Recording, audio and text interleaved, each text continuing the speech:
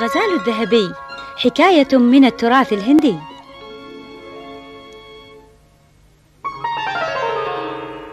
في قديم الزمان عاش ملك في بلد ما.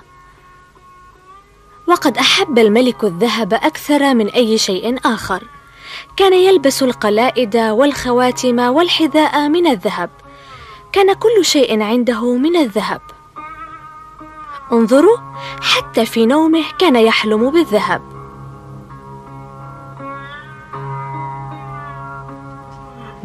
وفي أحد الأيام ذهب الملك مع حاشيته للصيد. ولسبب ما كانت الغابة خالية.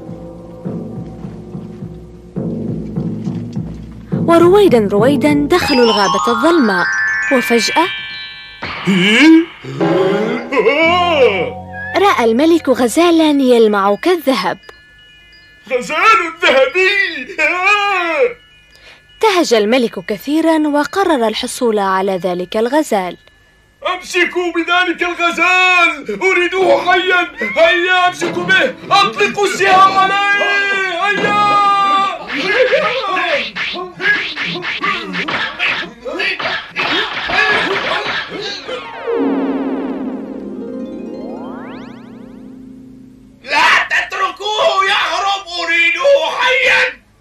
في نفس الوقت وعلى سهل أخضر من الغابة كان هناك غلام لطيف يسوق بعض البقر إلى البيت.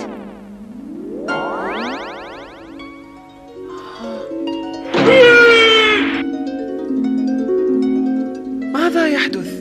الملك يطاردني. أرجوك لا تخبر الملك عني. طبعا لن أترك الملك يأخذك يا عزيزي. شكرا جزيلا. لن أنسى معروفك لي أبدا. أيها الصغير هل رأيت غزالا ذهبيا؟ آه آه لا أدري. كنت مشغولا ولم أستطع أن أرى في أي اتجاه ذهب.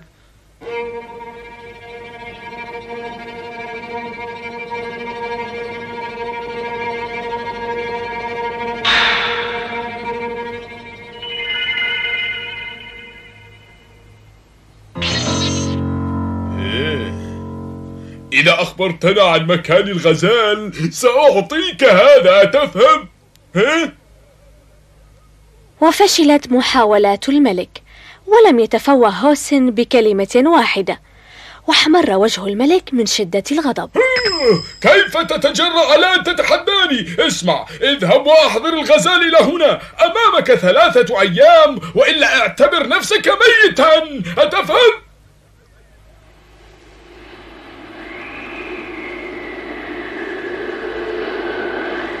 كان هوسن في مأزق حقيقي. إذا تأخر في إحضار الغزال الذهبي سيخسر حياته. وفجأة تحدثت إليه بقرة عجوز. اذهب وابحث عن الغزال وناقش الأمر معه. إني متأكدة بأنه لن يمسك بأذى.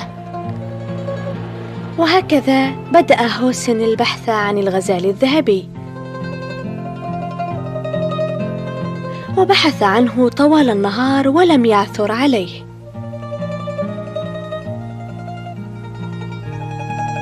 وعندما غابت الشمس تمدد هوسن على الحشيش ليرتاح ثم سمع صوت مخلوق صغير من مكان قريب منه.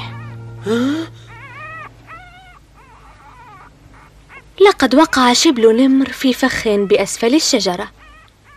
أيها المسكين أين والدك؟ وفي تلك اللحظة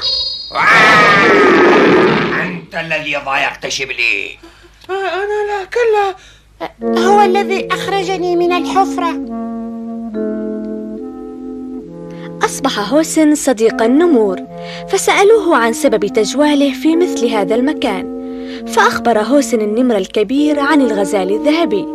قال النمر بأنه يعرف مكان الغزال الذهبي وتبرع بأن يأخذه حتى منتصف الطريق وطلبوا منه أيضا أن يمضي الليل معهم.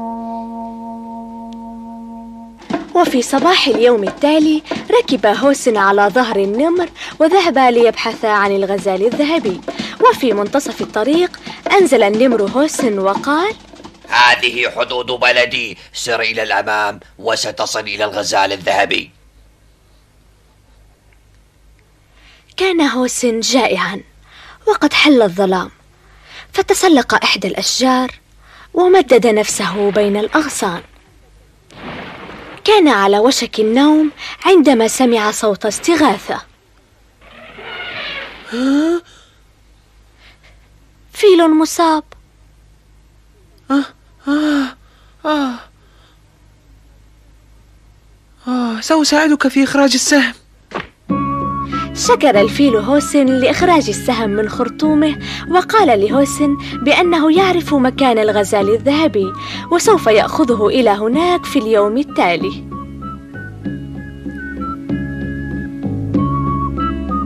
وهكذا مر اليوم الثاني. وفي الصباح حمل الفيل هوسن على ظهره وبدأ يمشي.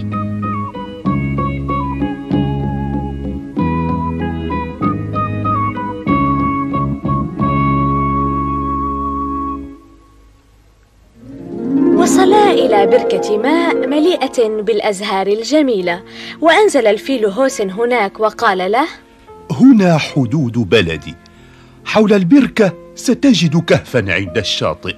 هناك تجد الغزال ركض هوسن في ذهول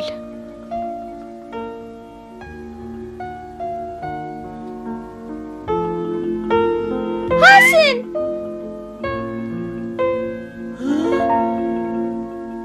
هوسن أنت الذي ساعدتني؟ ما الذي جاء بك إلى هنا يا صديقي؟ أخبر هوسن الغزال بما حدث وبالأمر الذي تلقاه لإحضار الغزال أمام الملك في موعد أقصاه ثلاثة أيام وأن اليوم هو اليوم الأخير.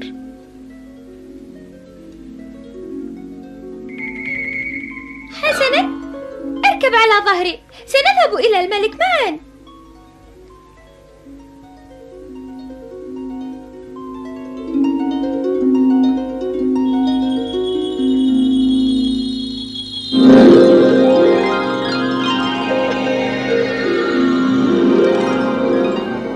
فجأة أدرك هوسن بأنهما إن ذهبا إلى قصر الملك سوف يقبض الملك على الغزال ولكي ينقذ نفسه عليه أن يخون الغزال.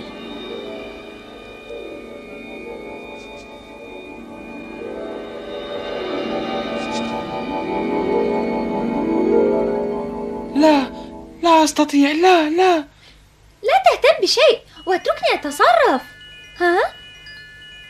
نظر هوسن إلى عيني الغزال الرقيقتين وعلم بأن كل شيء سيكون على ما يرام إذا أطاعه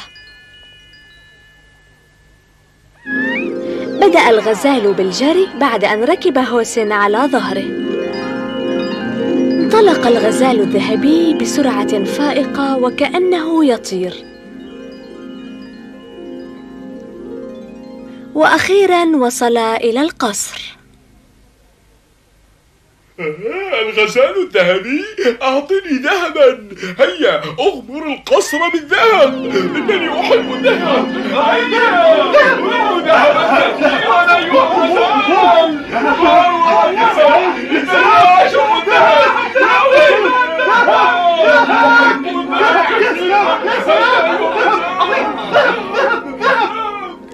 غطى الذهب ركبتي الملك ثم وركه.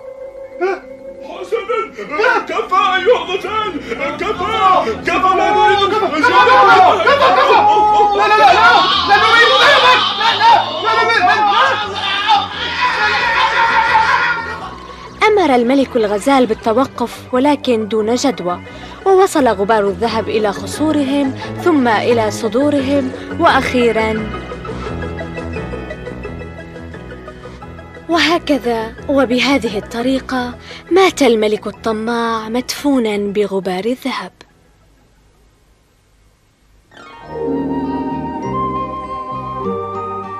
وهكذا عاد هوسن والغزال إلى الحقل حيث الأبقار.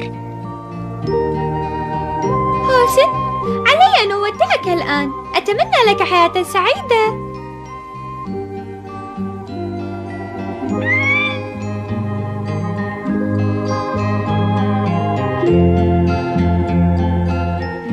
بعد ذلك الوداع انطلق الغزال الذهبي حيث نور الشمس الساطع وتوارى عن الأنظار.